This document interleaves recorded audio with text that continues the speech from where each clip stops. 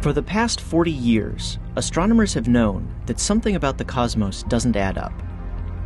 First in galaxy clusters, and then within individual galaxies, they found that visible matter, stars, gas, and dust, cannot account for the motions they observe.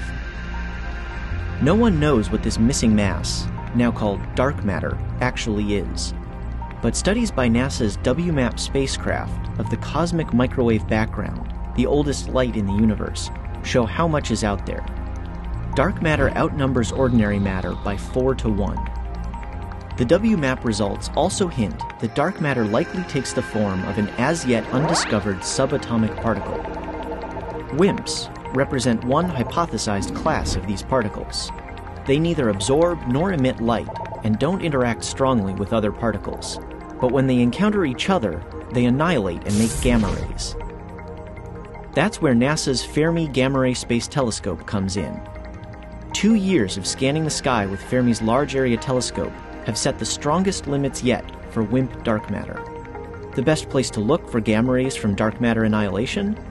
The most boring galaxies around, called dwarf spheroidals. These faint, tiny galaxies possess impressive amounts of dark matter, but they contain no gamma ray emitting objects and little gas or star formation. In the currently accepted cosmology, the first structures formed as the gravitation of dark matter corralled normal matter.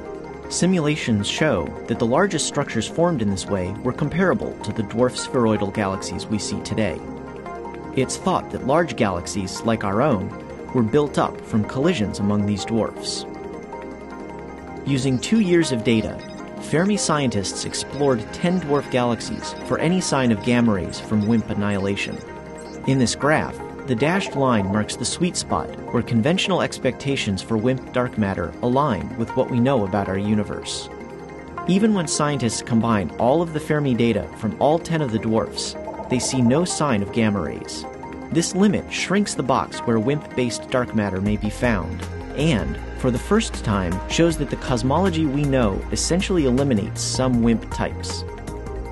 The longer Fermi operates, the better its ability either to box in the nature of dark matter or to find actual evidence of what it is. And the discovery of new dwarf galaxies will make this search even more sensitive. Although nondescript, dwarf spheroidal galaxies may have been the first large structures to form in the universe. Now, they've taken center stage in the drama to solve one of astronomy's greatest mysteries.